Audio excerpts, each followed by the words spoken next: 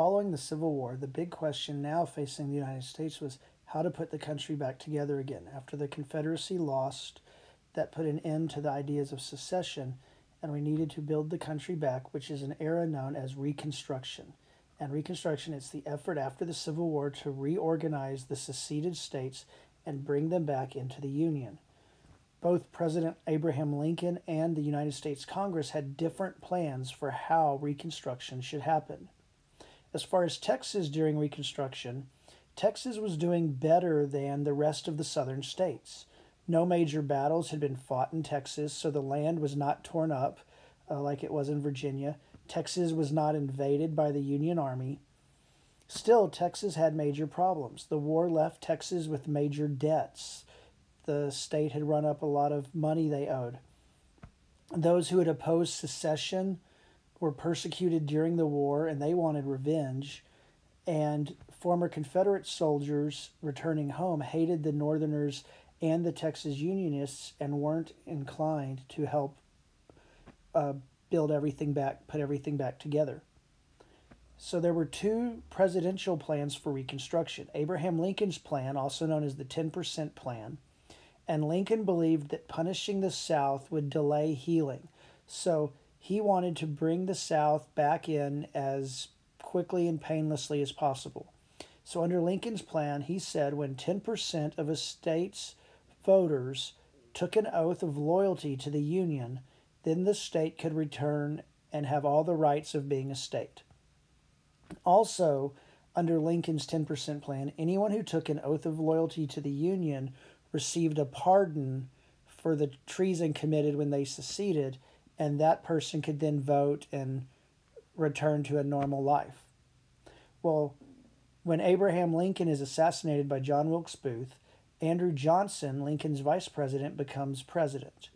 And Johnson is going to mostly follow Lincoln's plan, but he's going to modify it a little bit. He's going to help set up a provisional government in every former Confederate state, and he's going to add three provisions to Lincoln's 10% plan for the Confederate states to return to the Union. The first provision said that each state had to nullify their act of secession. The second said that the states had to acknowledge that the federal government would not pay the state's debts. And then each state had to ratify the 13th Amendment to the U.S. Constitution, which outlawed slavery. Also, under Andrew Johnson's plan, a majority of white Southerners had to take an oath of loyalty to the United States to get to vote, to get to come back as a state, not just 10%. And under Johnson's plan, Confederate leaders and wealthy slave owners could not vote or hold office. So Reconstruction begins in Texas uh, really on June 19, 1865, which is when Union forces led by General Gordon Granger landed in Galveston.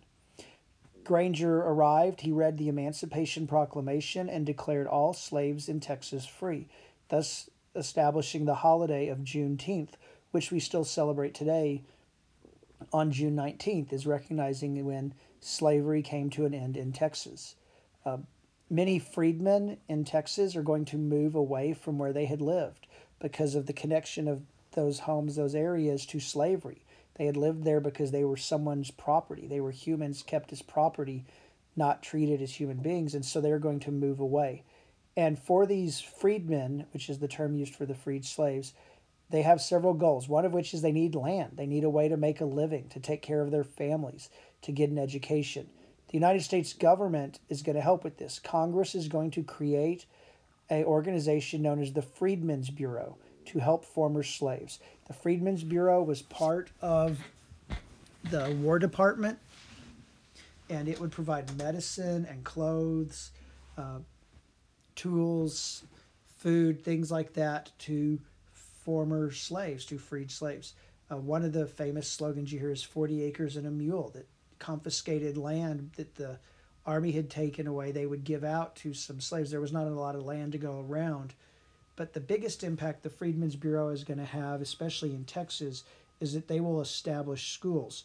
So during the late 1800s, the majority of African Americans educated in Texas will be educated in a Freedmen's Bureau school. Well, what's going to happen in Texas Andrew J. Hamilton, who had opposed secession, is going to be appointed governor by President Andrew Johnson to help organize the Texas uh, Reconstruction government, to help work Texas through Reconstruction. Well, the Confederates in Texas worked with Hamilton because Hamilton was opposed to giving rights to African Americans. Hamilton said African Americans, former slaves, should have no rights, they shouldn't get to vote or be citizens. And the con- former Confederates liked that, so they're going to work with Andrew J. Hamilton. And Hamilton is going to call for a convention to write a new state constitution. The convention will meet in February of 1866. Nearly all of the delegates at this constitutional convention had supported secession and the Confederacy. And so they're going to be influenced by that uh, former support. Uh, many had even been high ranking military officers and had not even been pardoned yet by the president, so that they were still technically uh, guilty of treason. And no African Americans were allowed to come to the state convention of 1866. So the delegates are going to meet and they're going to take the Constitution Texas had before the Civil War. They're going to amend it, they're going to change it a little bit, and it's going to become the Constitution of 1866, yet another new constitution for Texas. Under the Constitution of 1866, the Texas government nullified secession. They also nullified the state's war debts, saying that that government no longer existed, so Texas wasn't going to pay any of the debt. They did abolish slavery because they had to under the U.S. Constitution, but they will not give African Americans equal rights. African Americans in Texas cannot vote, cannot hold public office, cannot serve on juries, and cannot testify in court. Uh, the voters in Texas are going to approve the Constitution and they're going to elect a new state government. And this new state government is going to be dominated by ex Confederate soldiers and leaders. James W. Throckmorton will be elected governor of Texas. He was a former Confederate general. Uh, the Texas legislature also will refuse to ratify the 13th Amendment, which ended slavery, and the 14th Amendment, which granted former slaves citizenship and protected the rights of citizens. That the Texas legislature refused to ratify both of these amendments to the U.S. Constitution. And instead, Texas, along with other states in the South, are going to pass laws which fall under this broad heading that we refer to as black codes. These were laws that legally took away the rights of freed people, that worked to keep African Americans, even though they couldn't be legally owned as slaves anymore, but to force African Americans into a position of servitude to whites in Texas. And so Texas is going to pass a lot of these black codes. Well, following all of these changes, the United States Congress is going to take control over Reconstruction because they feel that the country, the South, is moving back too much to the way it was before the Civil War. Congress is going to argue that only they had the power to readmit the southern states under the Constitution, not the president. Um, there's going to become protests in the North that are going to grow.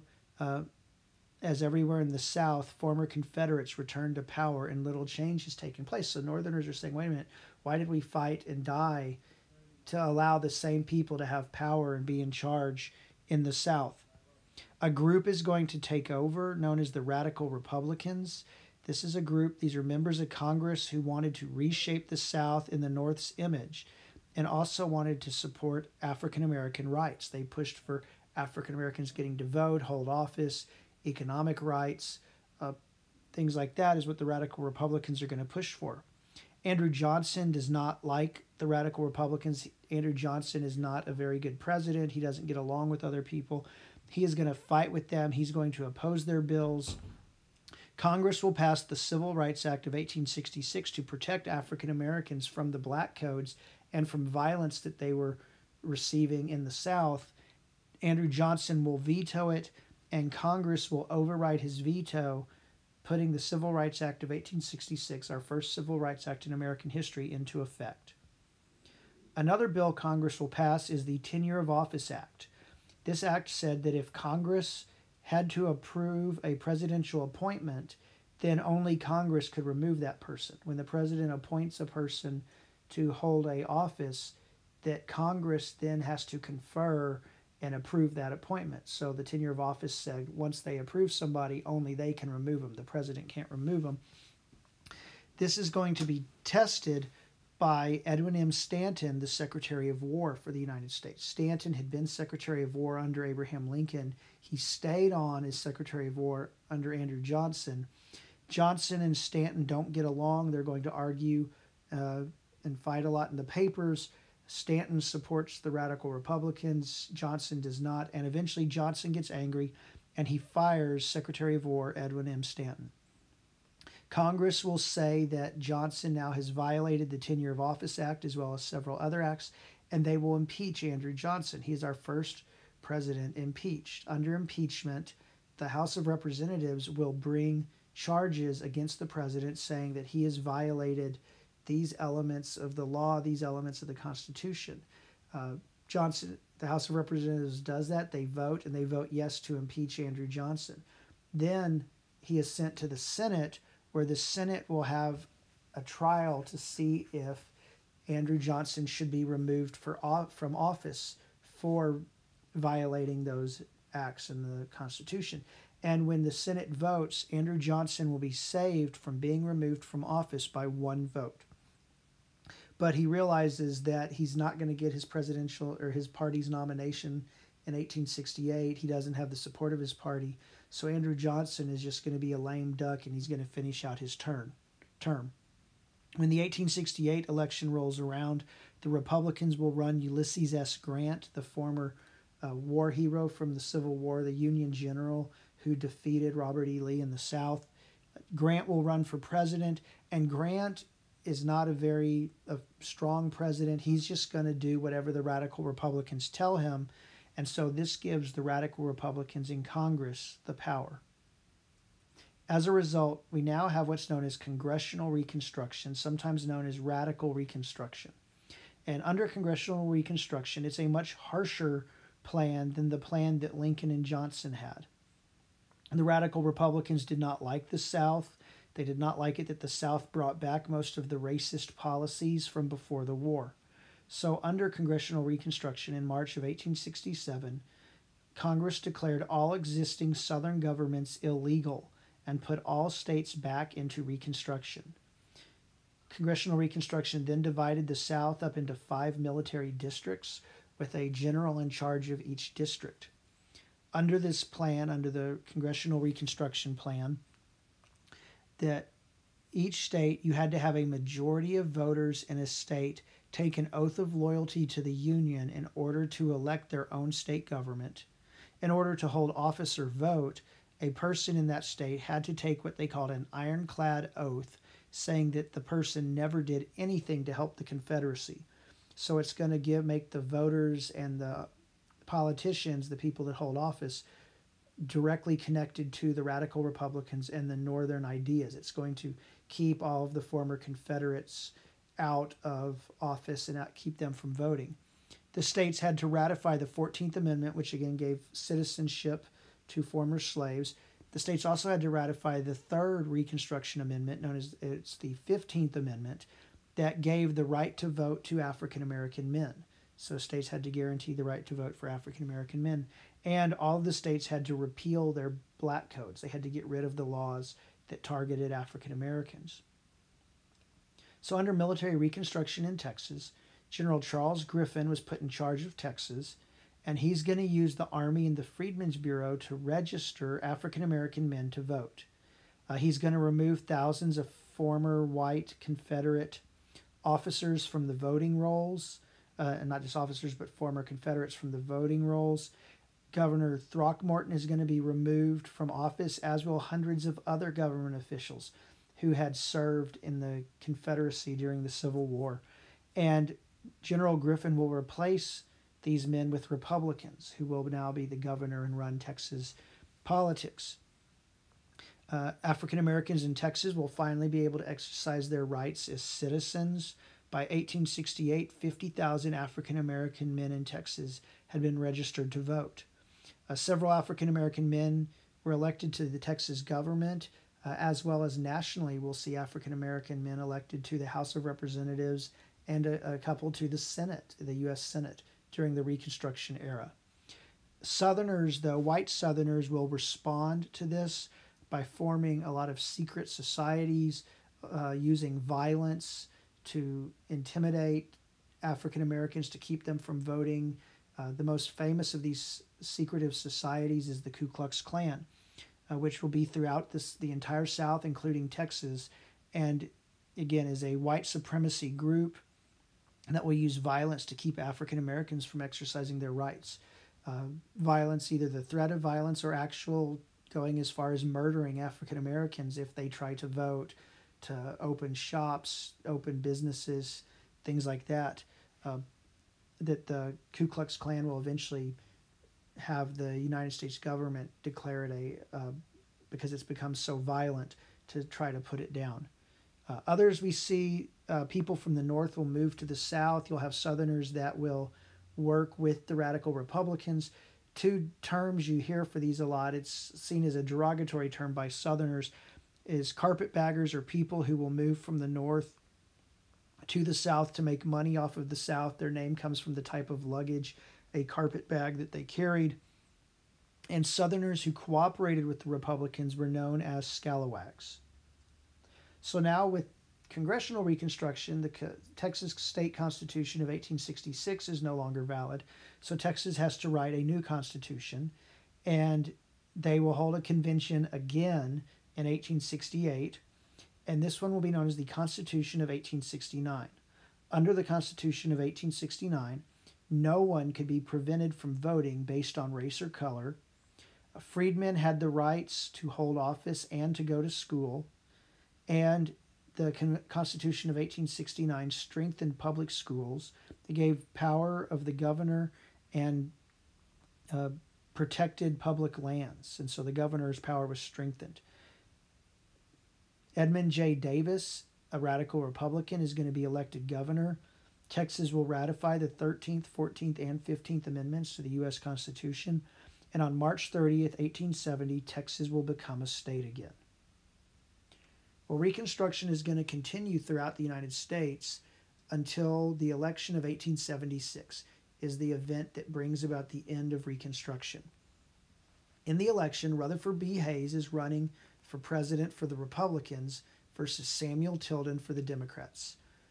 When the election is held, Samuel Tilden will get more popular vote. Also in the Electoral College, Tilden will win 184 Electoral College votes and Hayes will get 165 Electoral College votes. But at the time, to get 51%, someone needed 185 Electoral College votes to win.